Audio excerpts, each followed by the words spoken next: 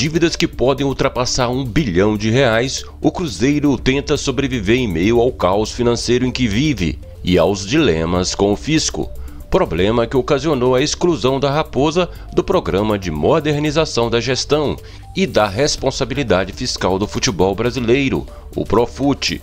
Por tantos problemas tributários, jurídicos e econômicos, o mega empresário cruzeirense Vittorio Medioli, que entre o fim do ano passado e o começo de 2020 foi diretor executivo do Cruzeiro e sugeriu que a única salvação seria a transformação do Cruzeiro em clube empresa. Mas como seria esse processo para o Cruzeiro deixar o atual modelo de sua gestão, o associativo sem fins lucrativos, para se tornar um clube empresa?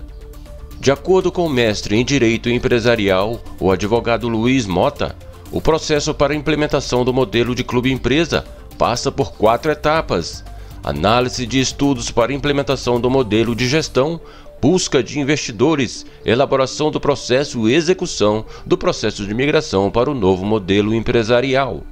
São etapas complexas e que demandam estratégias diferentes para cada clube, tendo em vista que no modelo associativo que é o caso do Cruzeiro, por exemplo, a proposta precisaria ser aprovada no Conselho Deliberativo, seguindo regras estatutárias.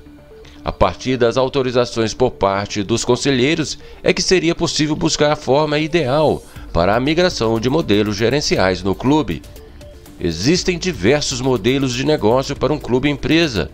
tomando por base o discurso do diretor executivo do Cruzeiro, Vitório Medioli, o desejado por ele seria o de SA, empresa de capital aberto com ações na Bolsa de Valores.